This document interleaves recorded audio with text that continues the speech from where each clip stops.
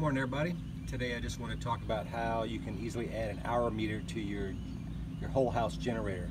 What I have here is a, uh, a Generac 48 kW uh, generator with a Nexus controller. It's got a Ford uh, V6 engine and uh, Generac provides uh, a way to get the engine hours through this controller but you got to go through a number of steps and it's not uh, obvious obvious when you open the um, cover of the generator what the hours are. So what I wanted to do was add an hour meter so that when I can open the, uh, the door, I can see exactly how many hours are on the unit and did it run this week and etc. So all this is, is a little quartz clock, a little DC quartz clock in the uh, guise of an hour meter.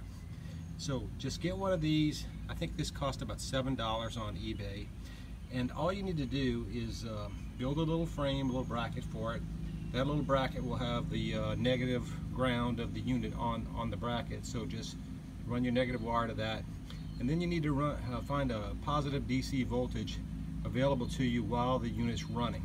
So that's pretty easy to do. Let me go to the other side of the generator and I'll show you how you do that. So you come around here to the fuel relay. And the fuel relay is uh, what turns on the fuel for the engine. And that's got a 12 volt DC uh, source on it. So all you got to do is run a wire, the positive wire for the clock will come from this fuel relay.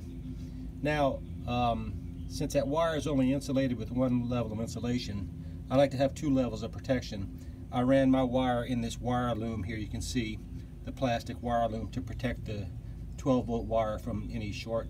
You could also put a fuse on it. I didn't want to put a fuse on it, so I got my second level of protection here by running the wire in a wire loom.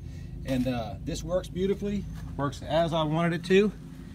I can come out here every week, see if the exercise cycle ran at a glance.